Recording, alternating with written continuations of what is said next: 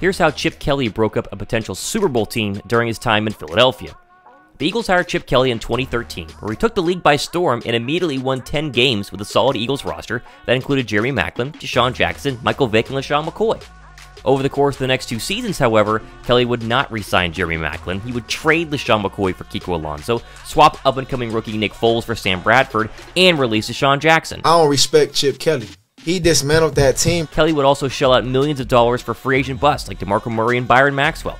And don't even get me started about the whole Tim Tebow thing. Was Kelly one of the worst coaching hires in Eagles history?